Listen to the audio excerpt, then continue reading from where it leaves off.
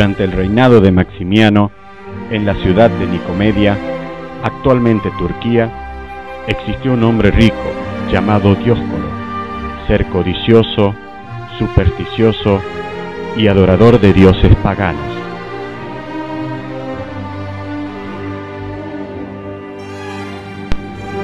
Dicho personaje tenía una hija muy hermosa, llamada Bárbara, a cual celaba sin motivo, por lo que mandó a construir una torre con dos ventanas, en donde la encerró para mantenerla alejada del mundo exterior.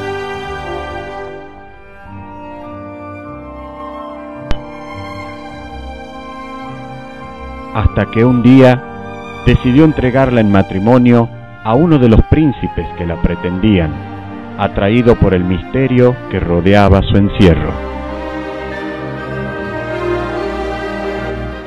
Al saber esto de su padre, Bárbara se sintió ofendida y dijo, Padre mío, mi decisión no es casarme. Te ruego, no me obligues.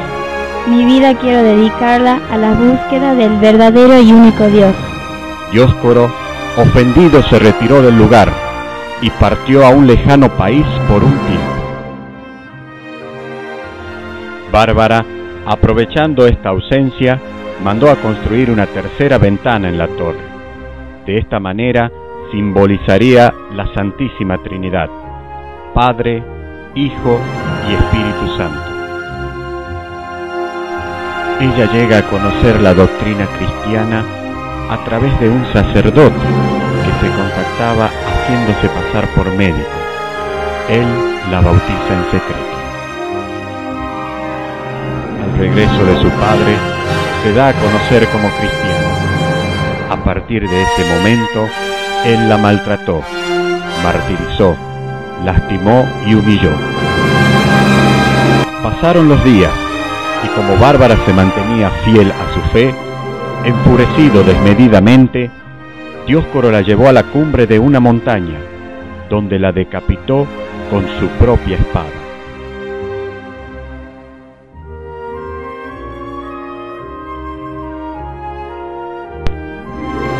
Luego de haber finalizado el horrendo crimen, Dioscoro se aprestaba a bajar de la montaña, cuando en castigo divino, por tremenda acción, es fulminado por un rayo y su cuerpo sumido.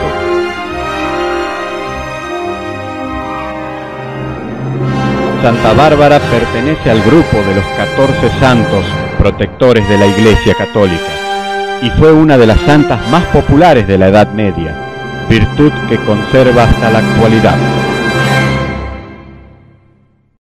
Santa Bárbara encarna los valores de amor, justicia, paz y principalmente la defensa y promoción de la dignidad de las personas. Son los pilares del ideario de nuestra institución. Una institución cada vez más moderna y solidaria, más humana y religiosa, con más y mejor educación. Nivel inicial, EGB1 y EGB2. Nivel medio, EGB3 y polimodal. Secundario para jóvenes y adultos.